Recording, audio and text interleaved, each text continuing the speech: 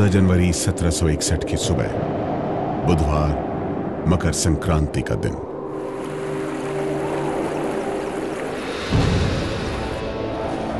इस दिन दिल्ली से तकरीबन 80 किलोमीटर दूर, पानीपत में भारत का इतिहास नई करवट लेने वाला था।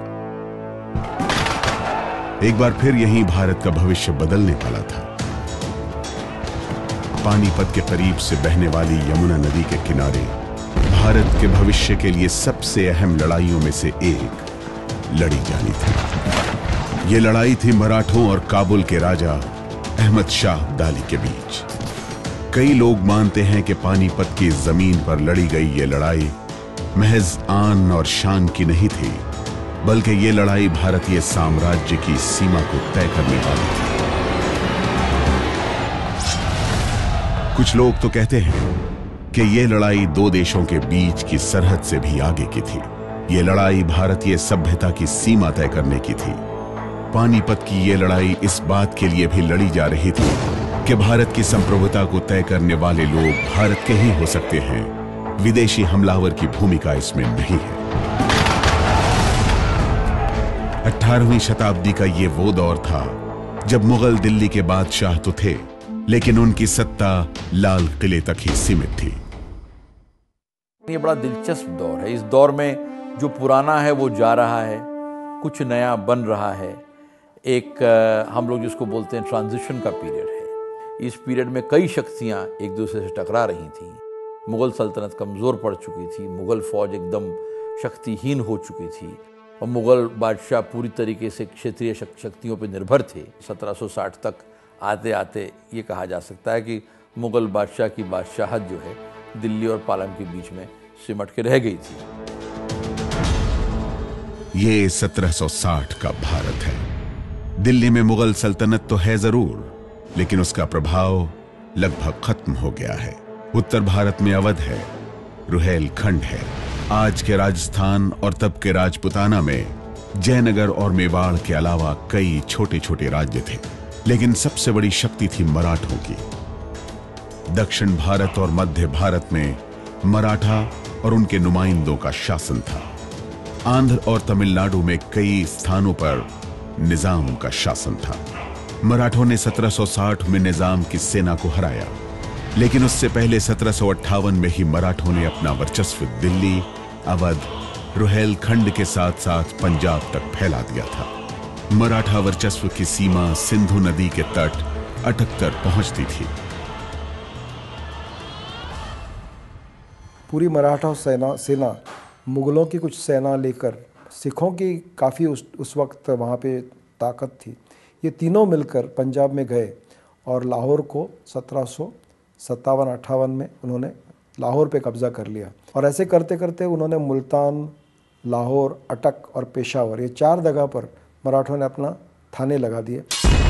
पंजाब में जीत के साथ ही मराठों की सीधी टक्कर अफ़गानिस्तान के राजा अहमद शाह अब्दाली से हो गई। अहमद शाह अब्दाली ने जब दुर्रानी एम्पायर बनाया तो उन्होंने पंजाब का जो पश्चिमी पंजाब का हिस्सा था, वो उन्होंने दुर्रानी एम्पायर में शामिल कर दिया धीरे धीरे मराठे जब उत्तर भारत और उत्तर, पश्चिम उत्तर भारत की तरफ़ बढ़ने शुरू हो गए तो इन लोगों ने से, इन लोगों ने कई किलों से और कई जगहों से अफगान को खदेड़ दिया सीधा सीधा इनकी सरहदें जा करके दुर्रानी एम्पायर की सरहद से मिलने लग गई। और पंजाब के रेवेन्यू के लिए और नॉर्थ इंडिया के रेवेन्यू के लिए दुरानी एम्पायर के साथ इनका सीधा सीधा संघर्ष जो है शुरू हो इस इलाके को एक एक्सट्रीम एक्सप्लॉयटेशन किया जा रहा था। आ, और ये जो एक्सट्रीमली एक्सप्लॉयटेड इलाका था अब इसके ऊपर आके मराठे अपना राज्य चलाना शुरू कर देंगे। तो जो बेसिक सोर्स ऑफ़ इनकम था अफगानों का, वो ख़त्म हो जाने वाला था।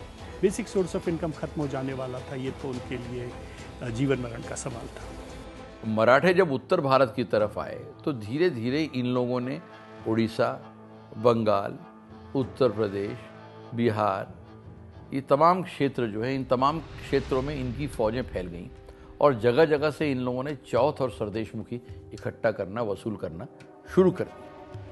लेकिन यहाँ पे जो क्षेत्रीय शक, क्षेत्रीय शक्तियाँ थीं यहाँ पे जो रीजनल पॉलिटीज़ थीं जैसे अवध रुहेलखंड इन सब उत्तर भारत की जो शक्तियाँ थी इन सब शक्तियों को मराठों से खतरा पैदा हो गया।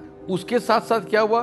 मराठों ने अपना जाल जो है राजपूताना में बिछाना शुरू कर दिया। उससे तंग आकर के जो जयपुर का राजा था माधो सिंह माधो सिंह भी इनसे बहुत ज़्यादा नाराज़ हो गया। और सबने मिलकर ये ठाना कि मराठों को सबक सिखाया जाए। और सबक सिखाने के लिए इन लोगों ने अहमद शाह अब्दुल्ली को बुलाया, क्योंकि ये सब जानते थे कि अकेले अकेले ये लोग मराठों के सामने मराठों से लड़ नहीं पाएँगे और मराठा सरदार के सामने ये लोग टिक नहीं पाएँगे। और जो आदमी मराठों को ठिकाने लगा सकता है, वो इनके हिसाब से अहमद शाह अब्दाली था। अफ़गानिस्तान से जब अहमद शाह अब्दाली ने सत्रह सौ उनसठ में अक्टूबर के महीने में भारत की तरफ़ छठी बार कूच किया, तब यह तय था कि उसे मराठों को हराना ही होगा। अब्दाली पंजाब को जीतता हुआ आसानी से दिल्ली तक पहुँचा। बीच में मराठा सेना की छोटी टुकड़ियों से उसका सामना हुआ, लेकिन मराठा उसे रोकने में असफल हुए। रास्ते में अपना वर्चस्व स्थापित करता हुआ 1760 में अब्दाली जुलाई के महीने में अनुप शहर पहुँच गया। जब अब्दाली ने भारत की तरफ़ रुख किया, तब मराठा सेना दक्षिण में उदगिर में थी। यहाँ निज़ाम की सेना को मराठों ने हराया था। मराठों की यह बड़ी जीत थी। इस लड़ाई के हीरो थे सदाशिवराव भाव।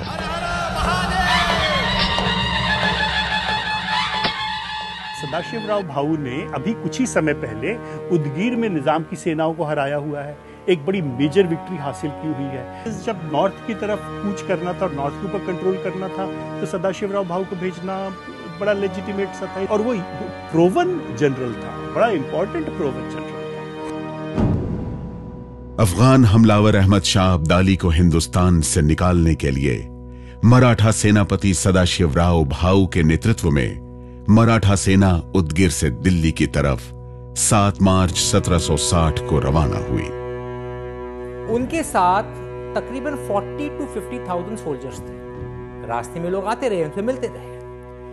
लेकिन साथ ही साथ तकरीबन पचास हज़ार सिविलियंस ही सारे आ रहे थे साथ साथ।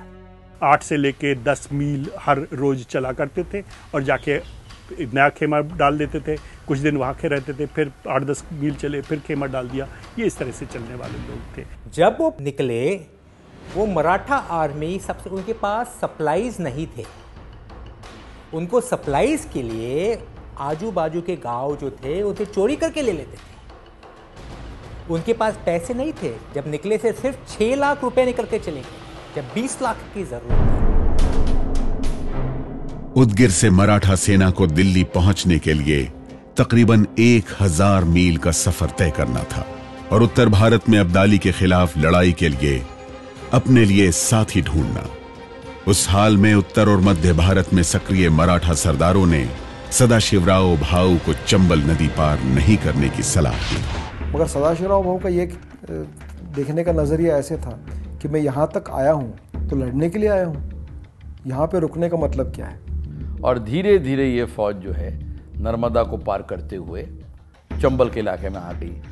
चंबल के इलाके में आने के बाद ये धौलपुर पहुँची। धौलपुर जो है वो सूरजमल जाट की रियासत में आता था। वहाँ से ये लोग भरतपुर पहुँचे और भरतपुर में ये लोग रहे, कुछ दिन ठहरे, विश्राम किया। जहाँ सूरजमल जाट ने ये बोला कि अपना भारी सामान आप भरतपुर में छोड़ दीजिए और हल्का सामान लेकर के, हल्के हथियारों के साथ, जिससे हम अपना छापामार युद्ध कर सकें। गानेमी कवा जिसको मराठी बोलते हैं, मराठी लोग बोलते हैं, उस किस्म का युद्ध गुरिल्ला युद्ध करने के लिए हम लोग नॉर्थ की तरफ़ जाते हैं। गुरिल्ला वॉरफेयर, आप कहाँ तक लड़ोगे? एक बार आप अमरावती क्रॉस करके इस तरफ़ आ गए होशंगाबाद, नर्मदा घाटी में आ गए, यहाँ क्या गुरिल्ला वॉरफेयर करोगे। यानी गुरिल्ला वॉरफेयर तो आप वहाँ करोगे ना जो छुपने को मौका हो। मराठा सेना 2 जून 1760 को ग्वालियर पहुँची। मानसून का समय नज़दीक आ रहा था। इस समय अहमद शाह अब्दाली आज के उत्तर प्रदेश के अनूप शहर में अपनी सेना के साथ कैंप कर रहा था। यानी मराठा सेना से 300 किलोमीटर दूर। अब्दाली का इस वक्त का सबसे बड़ा समर्थक रोहिल्ला सरदार नजीब खान था। रोहिल खंड में नजीब खान का वर्चस्व था। नजीब खान ये सुनिश्चित करने में लगा था कि अहमद शाह अब्दाली के खिलाफ मराठों को कोई साथी न मिल पाए। इसमें सबसे बड़ा नाम था अवध का शासक शुजाउद्दौला। अब्दाली ने नजीब खान को कहा कि अब आप जाइए, क्योंकि शुजा एक बहुत इम्पोर्टेंट सत्ताधीश है उत्तर का। और नजीब खान ने पहले अपील किया, अगर आप मेरे आते हुए भी, मैं कितना बड़ा आदमी हूँ, मैं खुद आपके पास आया हूँ, अगर मेरे आते हुए भी आप मेरी बात नहीं माने तो ये मेरी खं, ये मेरी खंजर लीजिए और मेरा गला काट काट दीजिए। नहीं तो मैं यहाँ से वापस नहीं जाने वाला। तो ये सब जो अपील उनके ऊपर हुआ मैंने आ, मेरे धर्म के खिलाफ लड़ाई की। इसके एक मेरे नाम पर एक बड़ा धब्बा आएगा जिसके ऊपर मैं कुछ कह नहीं सकूँगा। तो बड़े रिलक्टेंटली जैसे आप कहते हैं सिर्फ़ तीन चार हज़ार सैनिक लेके वो अब्दाली के कैम्प में पहुँचा अहमद शाह अब्दाली की यह बड़ी सफलता थी। दूसरी तरफ़ भाऊ के नेतृत्व में मराठा और सूरजमल जाट की सेना ने अपना रुख बदला और धौलपुर से अनूप शहर की जगह दिल्ली की ओर कूच कर गए।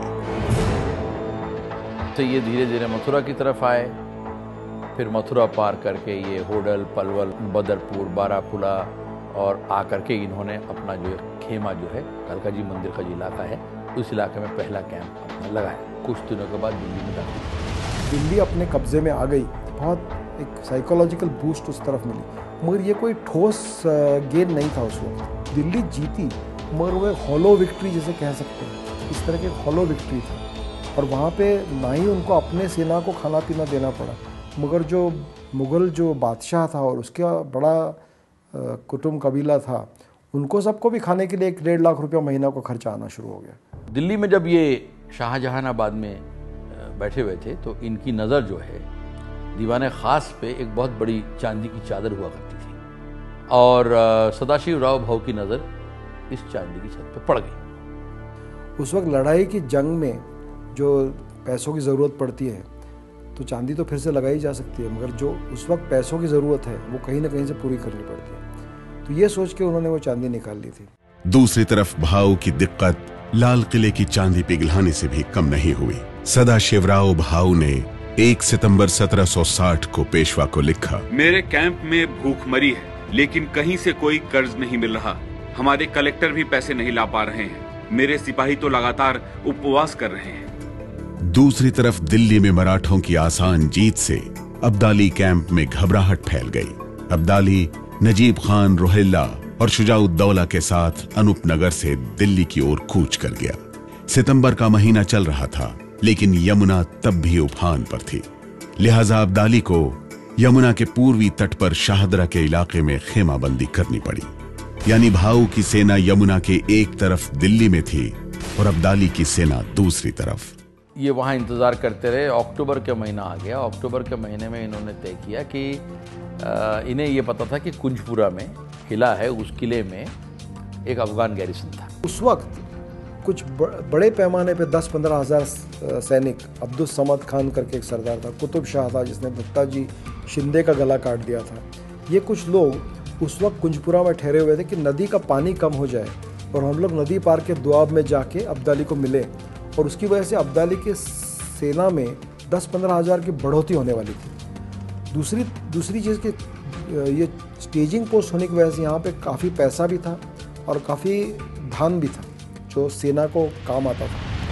16 अक्टूबर को मराठाज ने कुंजपुरा को कांटेक्ट किया और उसे घेर लिया। घेरने के बाद जो उनकी आर्टिलरी थी, जो तोफखाना था, जो कि इब्राहिम खान गर्दी जिसे कमांड कर रहा था, उसे उन्होंने बहुत हेवी बोम्बार्डमेंट कुंजपुरा फोर्ट के ऊपर शुरू। जो अफगान आगे थे वो पीछे रिट्रीट करने के चक्कर में कुंजपुरा फोर्ट की तरफ़ चले गए। गेट खोल दिया था और मराठा कैवलरी उनके पीछे आ गई। और बड़े कत्लेआम हो गई। कहा जाता है कि आठ दस हज़ार अफगानों को वहाँ पर काट दिया। जो बचे हुए थे उन्होंने मुँह में घास डाल करके बाहर आ उनका मकसद था उन्हें बताने के लिए हम गाय हैं। हमें बचाओ। और इसलिए चार हज़ार अफगान को कैद करके मराठा कैंप में ले आया गया।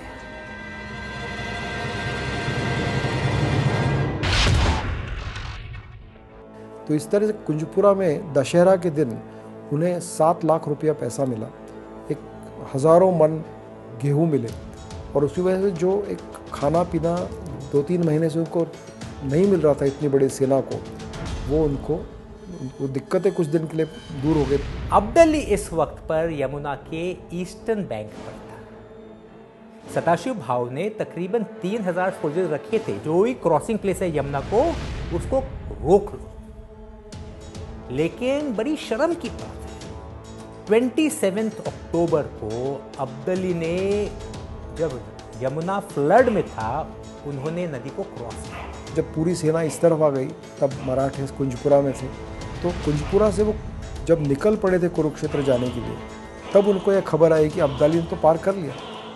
ये खबर जब आई तो सेना में अफरा तफरी मची और ये लोग जो है तुरंत वापस जो है दक्षिण की तरफ़ दिल्ली की तरफ़ इन्होंने कूच किया और दक्षिण की तरफ़ चलने शुरू हो गए। इस तरीके से भाव की सेना फिर जाकर के पानीपत पे टिक गई। अभी आप स्थिति देख लीजिए कैसे हो गया है। सदाशिव भाव और मराठा आर्मी दिल्ली के आगे आ गए हैं पानीपत की दिशा में। उन्होंने अब्दली को अफ़गानिस्तान की दिशा से ब्लॉक कर दिया उसके पीछे आ गया है अब्दली। अब्दली ने सदाशिव भाव को दिल्ली और पूना की दिशा से ब्लॉक कर दिया। पूरी कहानी अब हो गई है जो फौज जिसकी सप्लाई लाइन चलती रही, वो इस लड़ाई में जीत। दोनों फौज ने एक दूसरे को ब्लॉक करके रखा। मराठों ने अफ़गानिस्तान से अब्दाली का संपर्क तोड़ दिया था। अब्दाली को रसद की आमद नजीब खान के रोहिलखंड और शुजाउद्दौला के अवध से हो रही थी। दूसरी तरफ़ अब्दाली ने जिस जगह खेमाबंदी की उससे दिल्ली और उसके दक्षिण के मराठा वर्चस्व वाले इलाके से मराठों का संपर्क टूट गया था। इससे मराठों के खाने पीने और हथियारों की आमद अब सिर्फ़ पंजाब से हो सकती थी। अब दोनों की सेनाएँ एक दूसरे की सप्लाई लाइन काटने में लग गईं। सदा शिवराव भाऊ ने इटावा इलाके में वर्चस्व रखने वाले मराठा सरदार गोविंद पंत बुंदेले को इस बारे में स्पष्ट आदेश दिया। नजीब खान के इलाके के शहर शामली और गढ़ मुक्तेश्वर को जला दो। अब्दाली को दुआब से रसद नहीं मिलनी चाहिए। गोविंद पंत बुंदेले ने दिसंबर के महीने में छह से सात हज़ार की सेना के साथ अब्दाली की सप्लाई लाइन को तोड़ना शुरू किया। मेरठ, जहाँ से अब्दाली को सबसे ज़्यादा रसद मिल रहा था, वहाँ गोविंद पंत बुंदेले की सेना ने अपना वर्चस्व दिखाना शुरू कर दिया। लेकिन जल्द ही पासा पलट गया।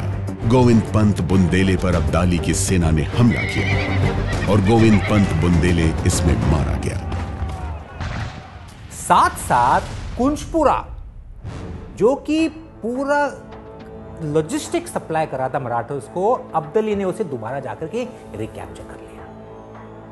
अब मराठास अक्टूबर, नवंबर, दिसंबर, जनवरी इस पानीपत के इलाके में बंद हुए थे।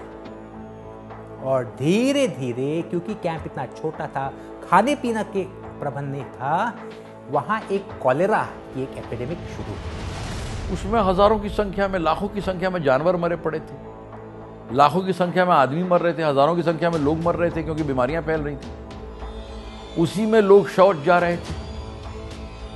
तो आप उस बदबू का अंदाज़ा लगाइए, जो उस इलाके में होगी।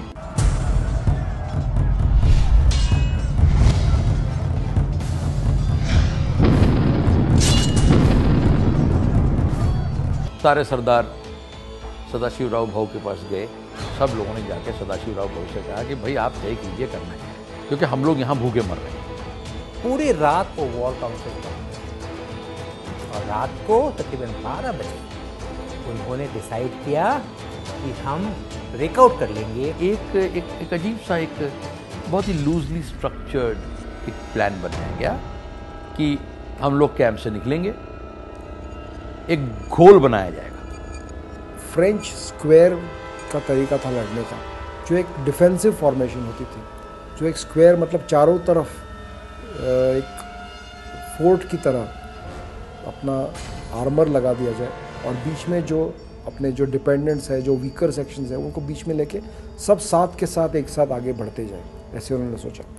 तो उन्होंने कहा कि हो सकता है कि वो हमसे लड़ना ना चाहे तो हम लोग जमुना की तरफ़ जाएँगे। और जमुना की तरफ़ जाते जाते अगर उन्होंने हम हम पर कोई रोकने की रुकावट नहीं लगाई जाने के लिए तो ऐसे आगे चल के दिल्ली चले जाएँगे। अगर रुकावट लड़ाई, लगाई उन्होंने अफगानों रोकने की कोशिश की तो लड़ते लड़ते जाएँगे मारते मारते जाएँगे। 14 जनवरी, मकर संक्रांति का दिन, जो कि एक बहुत ऑस्पिशियस दिन माना गया था। उस दिन मराठा आदमी आगे आई अब्दली के मुकाबला the only records was victory मतलब एक ही तरीका था इसमें से निकलने का और वो है कि आप जीत जाए लड़ाई। दूसरा कोई तरीका नहीं था। निकलते ही लगभग कोई मेरे ख्याल से नौ साढ़े नौ बजे होंगे सुबह के कि ये लोग बाहर निकले और निकलते ही इब्राहिम खान गर्दी की तरफ़ से कैनोनेड शुरू हो। जो उसका प्लान था कि सबसे पहले लेफ़्ट फ्लैंक जो कि इब्राहिम खान गर्दी वो अटैक कर लेगा। अफगान के राइट फ्लैंक में जाकर के कब्जा कर लेगा। आर्टिलरी का फायर का कोई असर नहीं लेकिन 9 बजे लेफ़्ट फ्लैंक इब्राहिम खान गर्दी के अंदर उनका हमला और classical fire and move tactic से वो आगे निकलता गया। एक बटालियन आगे चली गई, उसकी फायर किया, दूसरा बटालियन उसको कवरिंग फायर फिर दूसरी बटालियन आगे चली गई। ये बटालियन उसको कवरिंग इस प्रकार धीरे धीरे करते करते वो आगे चला। ये एक बहुत अच्छा अटैक और तकरीबन तीन हज़ार रोहिले अफगान, जो कि उनके अगेंस्ट थे, उनको। तो मतलब जो अब्दाली राइट विंग और सेंटर जो था, वो करीब करीब पूरी तरह से नष्ट हो गया था। सुबह नौ बजे से लेकर दोपहर एक बजे तक जो लड़ाई हुई उसमें ये स्थिति हो गई थी। तो उस तरफ़ रोहिलों की और बरखुरदान खार की सेना की काफ़ी अरसे काफ़ी बड़े पैमाने पे उनकी उनको मार दिया इधर जब भाऊ और विश्वास राव ने अपनी जो हुजूरात की जो घुड़सवार थे वो जब निकल पड़े और उन्होंने हमला किया अ, शाह वली खान पर तो वो इतना ज़ोर से हमला था मराठों का घोड़ेसवार घोड़सवारों का कि वो पूरी अफगान सेंटर पीछे हटती हटती चली गई और भागने लग गए तकरीबन 12 बजे ये लगता था अटैक बहुत बढ़िया और यहाँ फिर मराठाज ने उनका सबसे पहला गलती किया कैवलरी विठल देव शिंदे के अंदर थी। उन्होंने एक गलती की। उन्होंने जल्दी अटैक जब वो आगे आ गए, इब्राहिम गर्दी के पोजीशन से आगे गए। अभी आप ही समझ दो उसका नतीजा क्या होगा। इब्राहिम ना ही आगे फायर कर सकता है, क्योंकि उसके सामने जो खुद कैवलरी है, ना ही वो कैवलरी आगे जा सकती है। अब्दाली हमेशा लड़ाई के पीछे रहता था उसके नसाक्षी थे, यानी मिलिट्री पुलिस जिसको कहा जाता है। तो उन्होंने मिलिट्री पुलिस को भेजा कि जो भी वापस भाग के आए हैं, उनको या तो वहीं पे मार दो, या उनको कहो कि आगे जाके लड़े। तो ये एक बजे के बाद उन्होंने जो पीछे भाग के आए थे, वो दस हज़ार सैनिक वापस उन्होंने फ्रंट लाइन पे भेज दिए। इस वक्त पर मराठास के पास कोई रिजर्व्स नहीं रहा मराठास का पोजीशन तकरीबन 12 एक बजे काफ़ी अच्छा था। लेकिन जो सक्सेस मिला था, बिना रिजर्व्स के वो इसे इस्तेमाल कर अब्दली 12 एक बजे उस वक्त लगता था कि मराठास ब्रेकआउट कर लेंगे। उन्होंने रिजर्व्स को बहुत अच्छी तरह के इस्तेमाल करके सिचुएशन को कंट्रोल और उसी वक्त विश्वास राव जो हाथी पर बैठा हुआ था उसको एक गोली लग के वो वहीं पे विश्वास राव मर गया ये देख देखने के बाद एकदम से जैसे पैनिक जैसे स्प्रेड होता है वैसे मराठा फौज में पैनिक शुरू हो गया। इस मोमेंट में पूरी लड़ाई अफगान आ रहे थे कोई लीडर कंट्रोल नहीं कर रहा था राइट फ्लैंक नहीं आ गई है। जब तक ये सदाशिव वापस आ गए हैं तो घोड़े पर चले और आगे चले कंट्रोल करने के लिए इस इलाके में तकरीबन तीन चार घंटे के लिए एक स्लॉटर रहा था। मगर जो बचे हुए थे और जो निशस्त्र थे और जो डिपेंडेंट्स थे जो लड़ने वाले नहीं थे उनकी अ, कत्ल, कत्लेआम उसके बाद जो हुई छः सात, आठ घंटों के लिए, वो एक शर्मनाक घटना इस लड़ाई के बाद हुई थी। ये बहुत क्रौर्य से लड़ाई की गई और कोई भी दूसरा राजा उत्तर से हिंदुस्तान के रक्षण के लिए वहाँ पे खड़ा नहीं रहा, मराठे को छोड़ के। पूरी रात स्लॉटर चलती रही अगले दो दिन तक स्लॉटर चलता रहा। और अंत में ये इंडियन हिस्ट्री का सबसे काला दिन रहा।